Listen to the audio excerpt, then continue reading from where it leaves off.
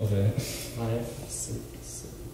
Ladies and gentlemen, performing now, Chris Nolan, Jazzmine Farol, and Micaiah Slocum. We will be seeing and playing Nine Crimes.